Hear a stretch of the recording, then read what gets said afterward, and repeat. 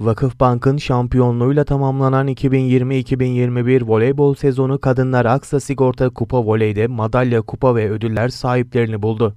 Vakıfbank Aksa Sigorta Kupa Voley finalinde Eczacıbaşı Vitra'yı 3-0 mağlup ederek 7. kez şampiyon oldu. Mücadele sonrası kupa ve madalyalar verildi. Final karşılaşmasının en değerli oyuncusu seçilen Zehra Güneş'e ödülünü Türkiye Voleybol Federasyonu Başkanı Mehmet Akif Üstündağ takdim etti.